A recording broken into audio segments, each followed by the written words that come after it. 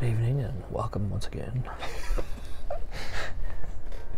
Well, good evening, good morning, good afternoon, whenever and wherever. This may find you. I took your line, didn't I? No, Glad you guys have joined us today. Cameron is just off camera there. Say hi, Cameron. That's it. Cameron the cat. We're in part 50 tonight, guys. Where do we go from here? Welcome to join us if you want to, Cameron. All right. Yeah, come on in. He's waffling. he's waffling. He's a waffle. He's an English waffle. Part number 50 here. Where do we go from here? Eschatology, eschatology touches upon a variety of topics. Now that we have completed the study, we must ask where do we go from here? How do we apply the Great Commission? Should we be so heavenly focused that we are no earthly good? Should we live in fear of what may come? Should we be optimistic about the future? Perhaps we should be more focused on living godly lives rather than being stressed about today's headlines. Should we live in fear of what may come? Should we be optimistic about the future? Should we be more focused on living godly lives? Should be deja vu. Wow, I just said that. I was like, did I just say that? Well, let's see how we live this out because Christ has left us here and he's left us here for good reason. right. We're to be about his kingdom, uh, and we don't know all the details of Christ's second coming, when it's going to be, uh, what it's going to look like exactly. Within our lifetimes, we don't know. But we know that while we're here, we're to be busy. And Paul gives us some very explicit details, instructions, what to do uh, as a Christian. You ever ask yourself, what's my calling in life? What am I called to do? Right. because people want to know is it some mysterious thing you got to figure out? Uh, do i go to some guru some mystic somewhere to, to tell me the answers to what i should be doing in life? Do i pray hard enough that god opens the doors and shows? I think paul tells you what to do uh, in your life. I just give you some principles here. So if Amen. you're a wife ephesians 5 22 through 23 Wives, submit to your own husbands as to the Lord, for the husband is the head of the wife, even as Christ is the head of the church, his body, and is himself its Savior.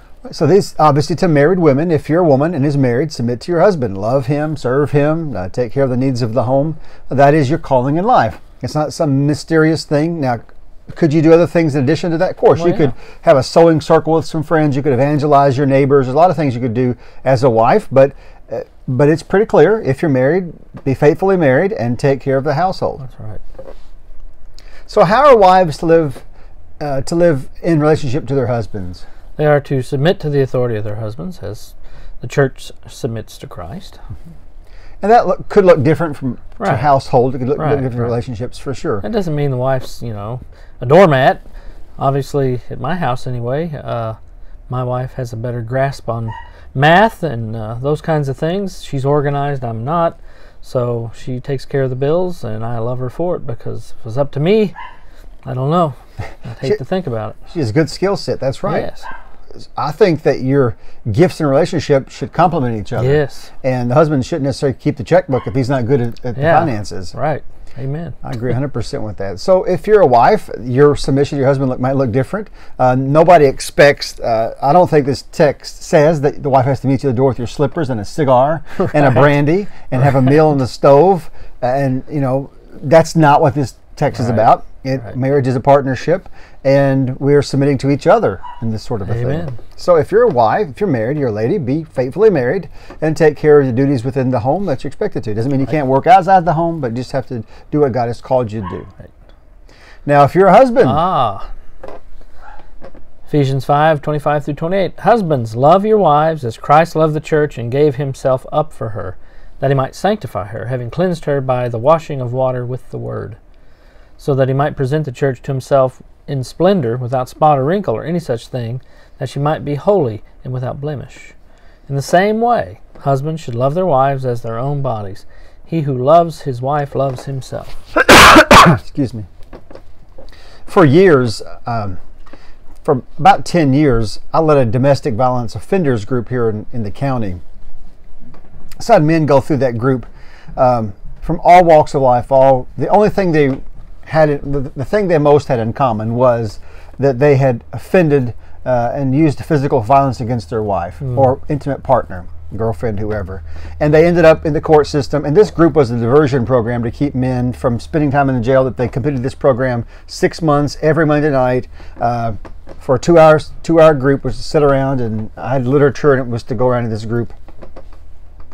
And I, the men in the group loved to quote the first part of Ephesians here: "Wives, Yeah. submit to your husbands." Yep. He's the head of the household. Right. But I'd say, you know, you need to keep word, Paul's words in context because if you read a little bit further down, he doesn't just tell the wives what to do, he tells the husbands what to do. He said, Husbands, love your wives like Christ loved the church. Right. He loved the church, his bride, so much he laid his life down for her. And if you love your wife that much, you wouldn't assault her. Right. You wouldn't. You wouldn't physically injure her. You wouldn't uh, put her down. Emotional abuse. All those things wouldn't happen if you loved your wife like you, like Christ. And in fact, no lady would have any trouble submitting to their husbands if he loved her that way. Right. So our duty as a husband is to love our wife so much that her submission doesn't feel like submission. That's right. It's a it's a joy and privilege. Now I'm not sure how the authority looks like in every home where this is played out, but I do know what love looks like. And if you love your wife like Christ loved the church, then boy, it would be no be no chore or no burden at all. Yeah. I mean, how much does Christ love you? Well, God demonstrated His love for us. That well, we were yet sinners. Christ died for us, and that's what Christ has done for His church. And so, if something that we love, then we will cherish it and take care of it, protect it, and even give our lives for it. That's right. Paul said, "He who loves his wife loves himself." So it's important that we love our wives as much as or more as we love ourselves. Yeah. uh, when an intruder comes in the house, it's our job to get up and answer that call in the middle of the night to right. protect the family. Take the bullet for the family, or give one in some cases if you have to. right. Hope it's not an even trade. And if your wife's a better shot than you, then I don't know. You know, You just at least equip her anyway. You know, she's got your back. yeah, you, you believe in equipping the saints. It sounds like. Uh, I agree 100. percent But it is our job as husbands, uh, if we can, unless you're disabled or whatnot, to Right. provide for your wife, protect your wife, Right. love your wife, and all those sort of duties. Right. I would say, um, not to swerve off into a lot of you know counseling type issues, but uh, emotional protection is important too. Um, being in a relationship with your spouse, being uh, emotionally supportive, not causing a lot of stress in her life, doing things that would irritate her or something like that. Try to alleviate that as much as you can. I mean, we're none of us are perfect. We all have little ticks that rub each other raw sometimes, but uh, overall, a husband really needs to set the emotional uh, pattern in the home as well. Absolutely. How our husbands to, to love, it says live their wives, love their wives at the typo. Uh, like Christ loved the church and gave himself for it. Now, if you're listening and you happen to be a child, someone who's under the age of 18, you live in the parents' care of their home, Paul didn't overlook you either That's because right. in the early church, uh, just like churches today, there were husbands and wives. Uh, we see the um, Philippian jailer when he comes to Christ. He, he brings Paul and Silas into to his home. He baptizes them. They share the gospel with the family, and the Bible says his whole family comes to Christ. Right. And we got to assume, though it doesn't say explicitly, that there's probably kids in that home. So this is written to believing children. Ephesians chapter 6, verses 1, 2, 3, and 4. Obey, children, obey your parents in the Lord, for this is right. Honor your father and mother. This is the first commandment with a promise, that it may go well with you and that you may live long in the land. Fathers, do not provoke your children to anger, but bring them up in the discipline and instruction of the Lord. All right.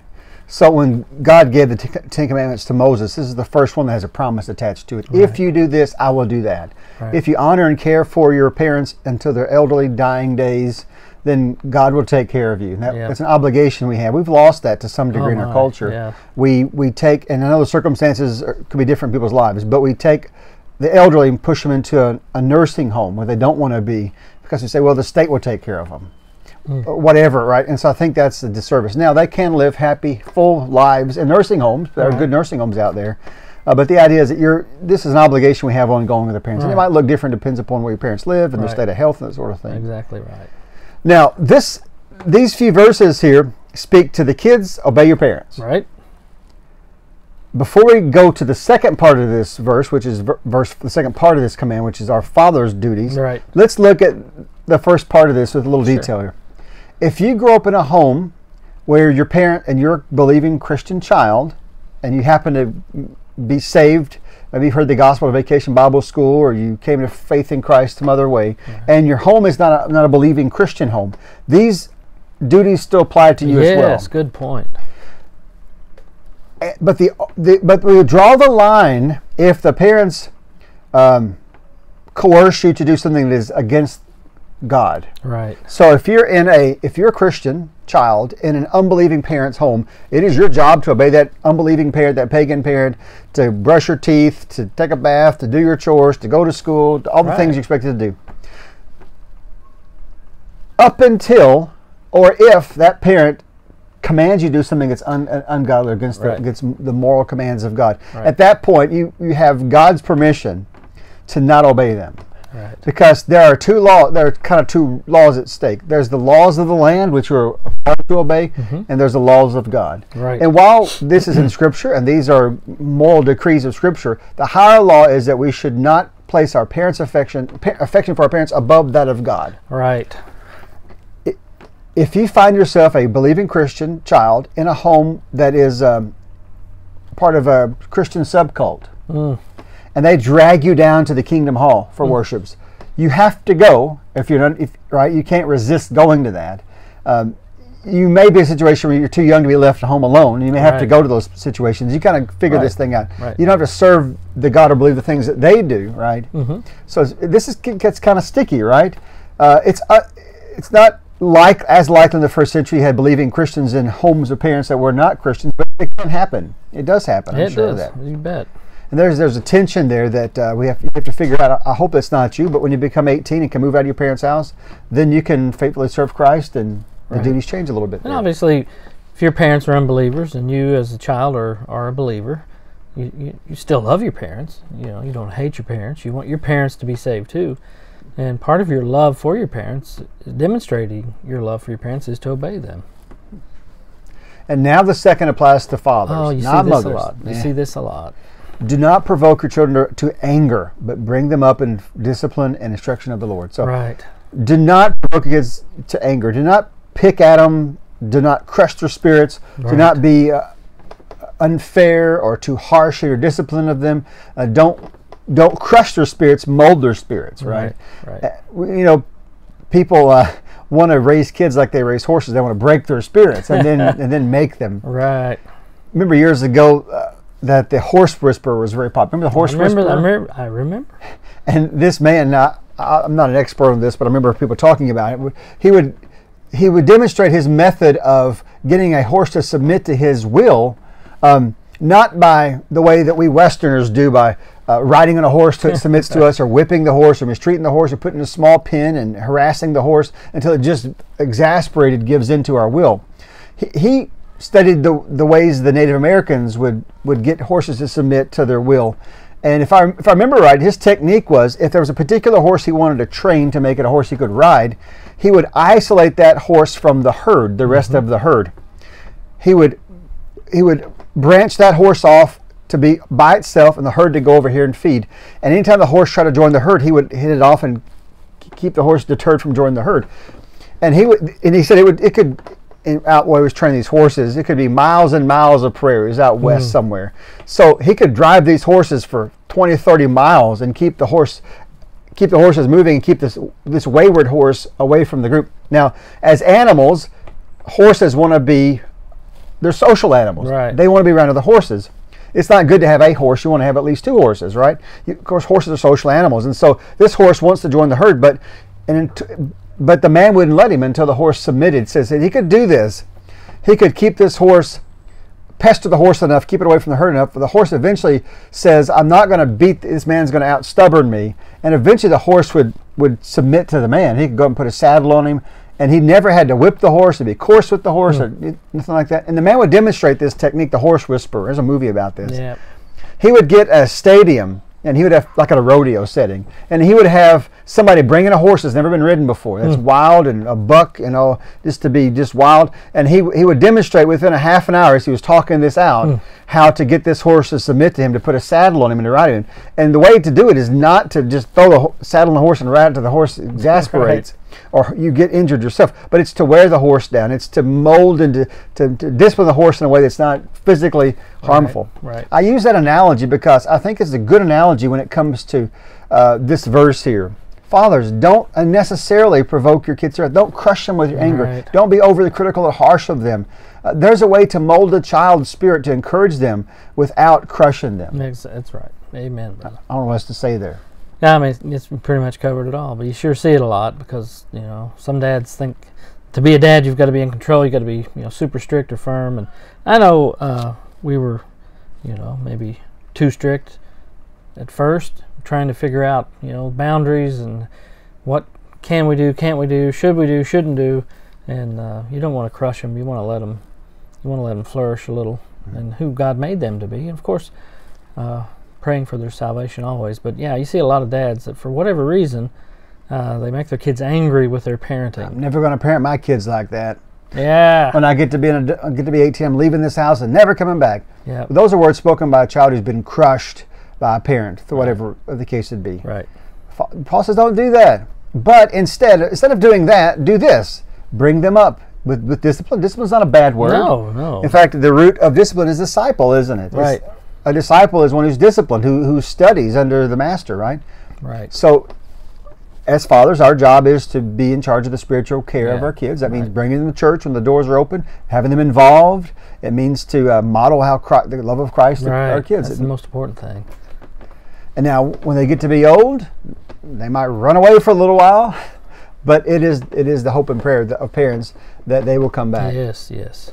So, if you're a child and you probably you know you're listening to this, uh, Paul would say to you, live where you are in honor of your parents, obey them, and uh, live in submission to them. It's God's will for your life.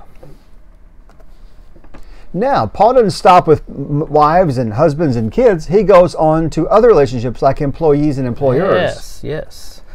Turn to Ephesians 6, 5 through 9. Bond servants, obey your earthly masters with fear and trembling, with a sincere heart as you would Christ, not by way of eye service as people pleasers, but as bond servants of Christ, doing the will of God from the heart, rending, rendering service with a good will, as to the Lord and not to man, knowing that whatever good anyone does, this he will receive back from the Lord, whether he is a bondservant or is free. Masters, do the same to them, and stop your threatening, knowing that he who is both their master and yours is in heaven, and that there is no partiality with him. All right, thank you. You bet.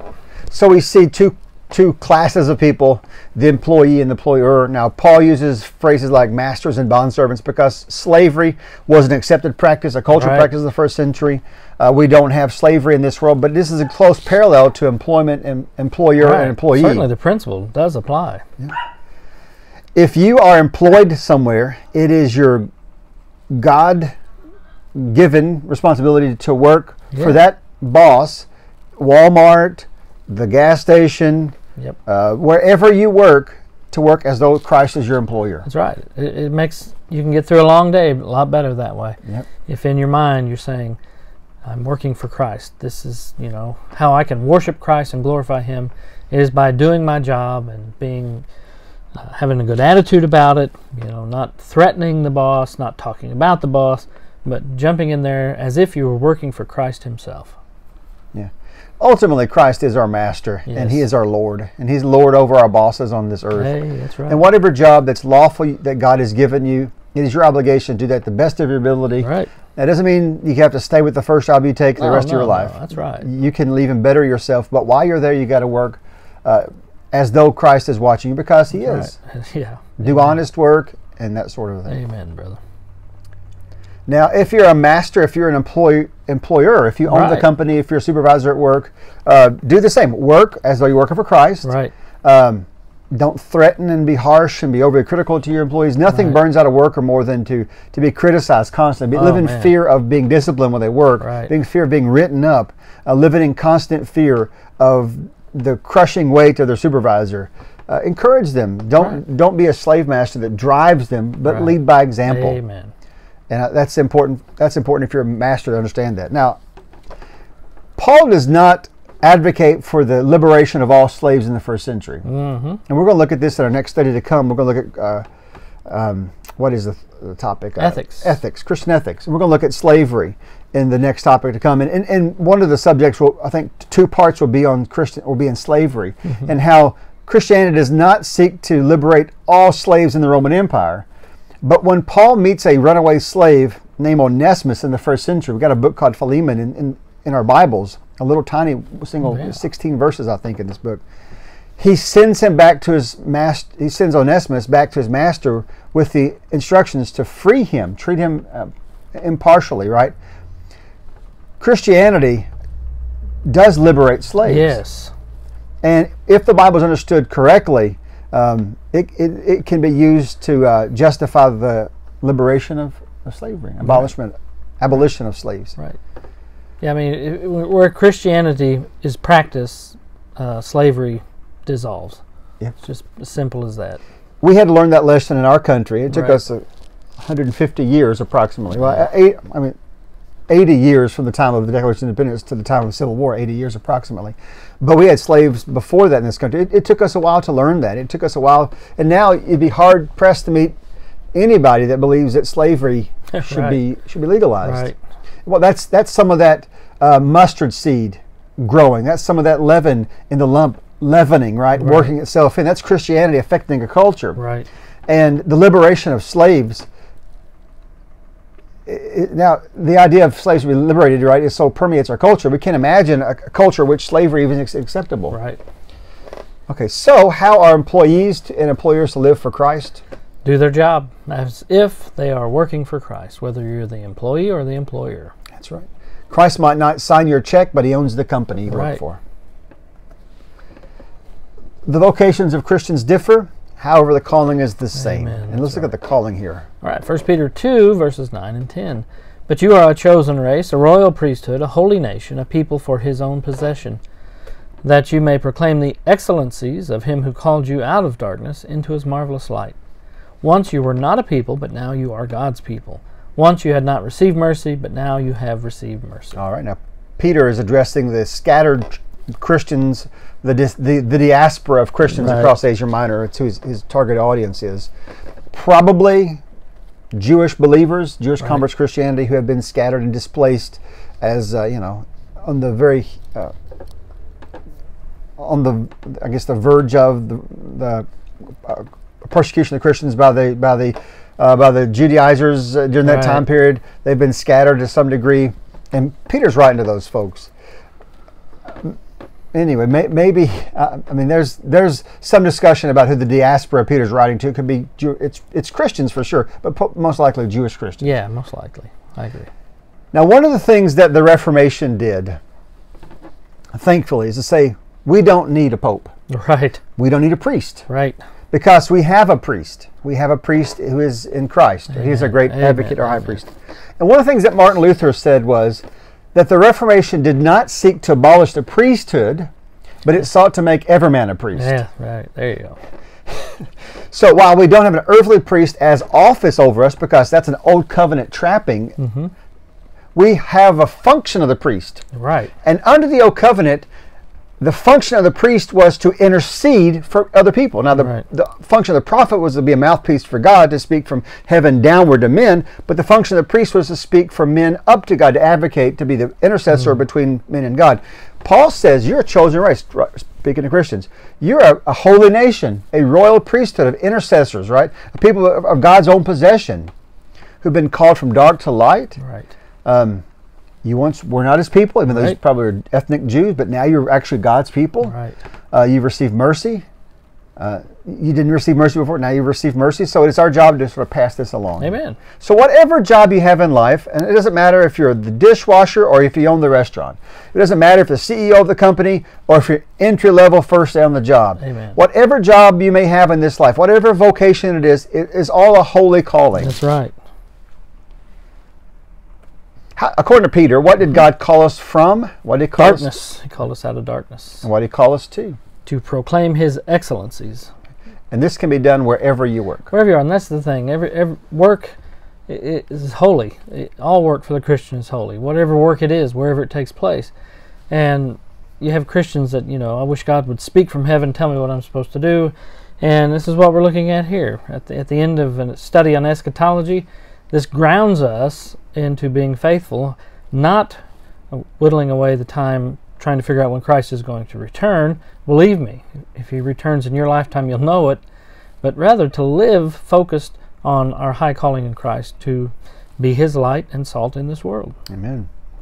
I, I don't remember the exact quote, but it goes to the effect it, something like this. Uh, a rabbi was once asked, "If the world ended tomorrow, what would you what would you do today?" He said, "I'd pl- I would plant a tree." Meaning that whatever he's doing now, he would just do it because he's doing what God's called him to do. Right, right, And that's that's true for you and I. Whatever you're doing now, that's what God has called you to do. right. It's not that you can't switch vocations, but whatever earth, whatever secular vocation you have is all been is all sanctified because you're doing it for Christ. Amen. So keep doing it. Don't worry about Christ's return. Be prepared for it. Repent of your sins. Know Christ as your Savior. Make peace with Him on His terms, and then go sell used cars. Right. I mean, that's that's the mission field is the world, and uh, we don't. I mean, the church does support missionaries all over the world, local, but the church is, in a sense, all missionaries because wherever we go and whatever we do, we are Christ's people, His disciples, uh, spreading the salt on a, a culture that needs pres- pres- preservation, and certainly shining the light of the gospel into dark places. And when you work in the world as a Christian, your employer, who may be secular, is actually paying you to be a missionary. Oh, that's real good. Look at that. And you can share Christ any job. That's right. Uh, the Great Commission, Matthew 28, 19 through 20. Go therefore and make disciples of all nations, baptizing them in the name of the Father, and of the Son, and of the Holy Spirit, teaching them to observe all things I have commanded you, and behold, I'm with you always to the end of the age. What a Christian's called to do unto the end of the age. Make disciples. Yeah, the end of the aeon. We're to keep doing what we're doing. Right. That's that's the focus. It's not when the end will come and trying to understand uh, all these prophecies that uh, these prophecy gurus throw out at us. Uh, some people in the church, and every church has one or two, someone that's just they're just all about end times. They're just fanatical about it. That's all they think. That's all they talk about. They just live and breathe the end times, and that's an unhealthy balance. It's not a balance. It's an out of balance. Your focus is to be fulfilling the Great Commission. Yeah, they're so heavenly minded. They're, they're no earthly Yeah, good. exactly right. So we're called. We're Christ left us here. He called us Yeah. here. And I believe uh, the Great Commission. If I, I believe the Greek wording of this is uh, as you go. Right. Not go therefore, but as you're going, Right. make disciples. Implied in this command is as you're selling cars, win folks to Christ. Yeah. As you're the butcher at the local grocery store, win folks to Christ. As you are doing what you do, carry out the Great Commission. That's it. That's it. It's pretty simple. Right. Don't a lot of folks fall into the trap of well, you know, when I get to this point in my life, then I'll be a better witness, and then you know, if God can open this door for me and I finally make it to wherever, then I'll be more apt to be a better disciple of Christ. No, that's not that's not how it works. As we go, Where, wherever you are in your faith, wherever you are in life, wherever you work, that you're you're a Great Commission Christian. The world is your mission field. Amen. The place where you might sell car insurance. Uh, That is a mission field Yep. for you. Sometimes it's the home. Yep. If you're a mother and you're at home, uh, your mission field obviously is your home, and we've got to be faithful to Christ. And and, and something that you know these end time fanatics do is they make eschatology the dividing line whether or not you're saved, Mm. and that's sad because this is something that we can discuss and debate and disagree with each other. But that doesn't mean we have to sever fellowship with our believers over over end times uh, t- teachings. Not a single creed of the Christian ancient world included in it uh, uh, uh, an eschatology. Right. That was the say this is how you should Yeah. believe these things about Christ's second coming because to them it was just Christ comes and that would be why. and that's where that's where all Orthodox Christians come down on is that Christ will return. Ah, the Westminster Shorter Catechism. The question number one in the Catechism it asks, "What is the chief end of man?" And the answer, man's chief end, is to glorify God and to enjoy Him forever. That's right. We were made to worship. Right, Now we were made to worship God, and with the fall of Adam, we worship other things. right, But if you've been redeemed and restored and brought back to Christ, been a new creation in Christ, then now your chief purpose is to not worship the things of the world, but to worship God Himself. that's right. And enjoy Him. That's mm-hmm. pretty cool. Enjoy Him forever. Yeah.